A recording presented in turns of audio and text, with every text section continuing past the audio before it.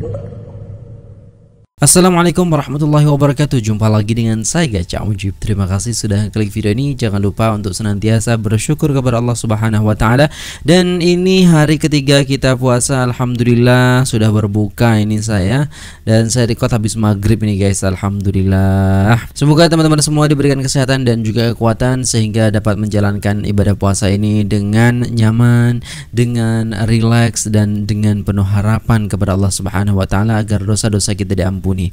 Oke, langsung saja guys kita play videonya. Di sini ada video dari saya kagum dari Abang Iwan channel ya. Saya kagum dengan Islam di Malaysia, kuasa di bawah yang di Pertuan Agung. Oke, let's go. Alright. Jangan lupa ya subscribe channel uh, Cik Lin Fazlina ini. Cik Lin uh, Fazlina. Uh, suri rumah tangga yang paling tangguh di antara yang paling tangguh. Uh.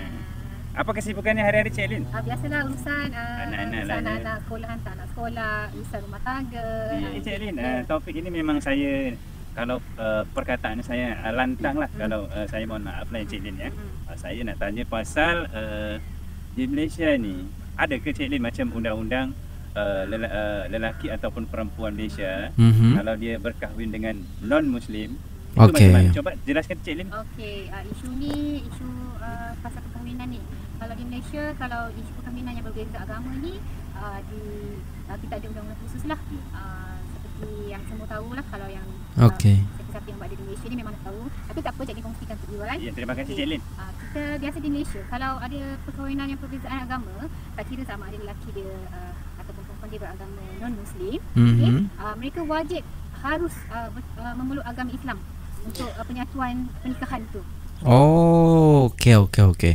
Jadi kalau di Malaysia itu antara seumpama yang cewek ataupun yang cowok ini non muslim gitu kan, ketika mau menikah maka harus mengikut muslimnya atau bisa dikatakan harus masuk Islam baru boleh kawin seperti itu guys. Wow, keren banget berarti ya.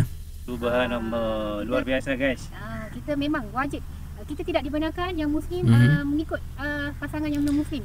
Oh, begitu. Jadi tidak dibenarkan ketika orang muslim mengikut kepada non-muslim. Itu istilahnya undang-undang kerajaannya ya. Memang tidak akan dibenarkan kalau di sini. Hmm. Kita ada undang-undang khas ni.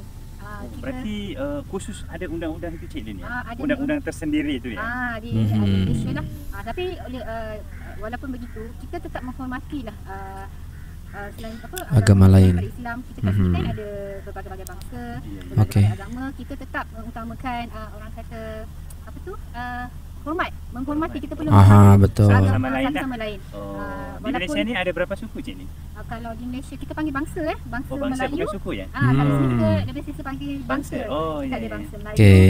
India yeah. bangsa India dan yeah. kita ada uh, kalau yang suku tu kita akan panggil macam Kadazan oh. yang yang apa tu yang yang biasa di Sarawak Sabah tu. Oh di Sarawak, Sarawak dia lah bukan Melayu ya? Uh, Melayu, uh, tapi itu Melayu tapi okay. itu dipanggil suku suku kaum uh, Oh, jadi ada, Iban, sebutannya ada, ha, sebutannya suku Iban dan lain sebagainya tetap dipanggil Melayu. Tapi tetap ah, dipanggil Melayu. Walaupun betul. Walaupun suku lain. Ah, walaupun suku lain. Dia tetap Melayu. Ah, oh. Dia tetap uh, kita tetap gabung menjadi satu Bumi Putra Melayu. Ah. Hmm. Okey, baru tahu. Berarti ceritanya yang challenge tu ya kalau uh, kahwin beza agama itu tidak di uh, tidak dibenarkan lah uh, dalam tidak Malaysia dibenarkan sama sekali sebab itu ada macam undang-undang ke perlembagaan ke macam mana sikit Cik uh, boleh bagi penjelasan? Kita di Malaysia ni uh, yang yang semua tahu kita uh, agama rasmi kita adalah agama Islam. Yeah, okay. Mhm. Jadi kita punya uh, uh, apa kata uh, sebagai negara Islam kita memang mengutamakan uh, syariat syariat, syariat Islam. Islam. Uh, Okey. Islam uh, dia punya pakai sangat ketat di Malaysia lah. Uh, jadi isu agama Islam ni uh, memang uh, kita sangat jaga. Uh, kita sangat jaga. Uh, jaga sangat uh, betul-betul ya. Itu ada macam dari kerajaan ke dari uh, raja ke apa dari mana? Uh, dari undang perlembagaan kita memang begitu. Oh, uh, kita memang oh, uh, kita memang uh, apa orang kata uh, menjaga negara kita ni Malaysia ni dengan uh, Islam sebab negara kita memang Islam. Okey. Uh, tapi untuk agama lain kita tetap menghormatilah. Oh. Hmm. Kita tak ada halangan untuk uh, agama-agama lain untuk kita sangat menghormati dengan apa yang dia uh, yang apa yang mereka anut. Apa orang panggil tu? Perbuat eh? Uh, mereka uh, menganuti agama apa pun kita tetap ah, menghormati okay, asalkan betul. dia tidak uh, mengganggu atau menjejaskan mm -hmm. uh, Islam tu sendiri. Ah. Uh.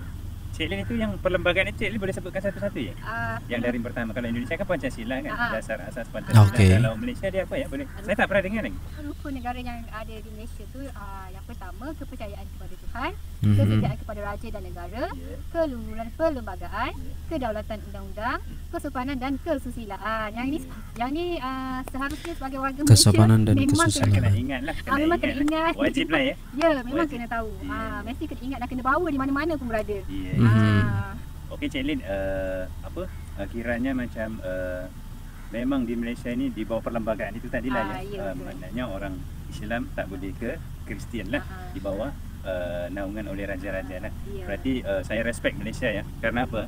Uh, di sini memang Islam memang diutamakan sekali ya. Okey. Uh, kadang apa kenapa saya cakap Malaysia ni jantung dunia? Ha, itu tadi soalan dia. Karena itu tadi ya.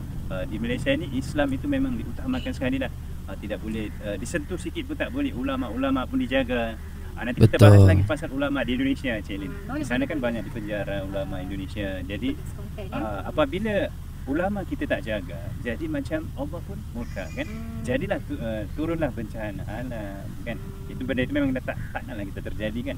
Kalau kita macam contohnya Malaysia ni, ha, dia jaga agama, dia jaga ulama. Tengok apa yang dah jadi. Ha, tengok negara dia orang aman damai kan. Ha, kita bukan saya nak membeza-bezakan ya guys. Maksudnya ini jadi pelajaran kita, wawasan kita. Betul. Ha, setiap negara itu berbeza-beza kan. Jadi yang baik kita ambil lah Cik Lin ya. Hmm, yang buruk kita buang lah.